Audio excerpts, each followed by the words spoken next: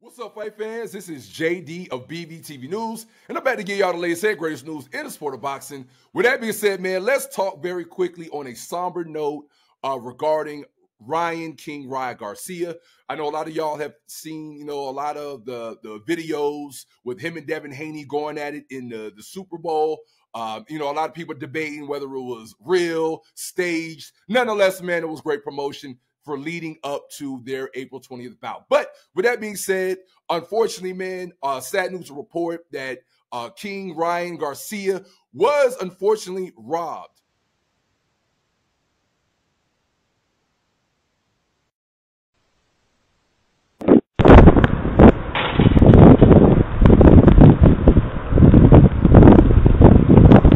that is, you know, the, the day in the life that we live in where people are watching your social media, they're watching your moves. And unfortunately, uh, King Ryan Garcia was uh, robbed. Now, thankfully, um, nobody was harmed. Nobody who was at his residence at the time um, suffered any type of um, harm, and that you know everything was okay in the end because material things can always be replaced. But you know, nonetheless, man, um, unfortunate, you know, for uh, Ryan Garcia, you know, we know that, you know, he's got a strong team around him.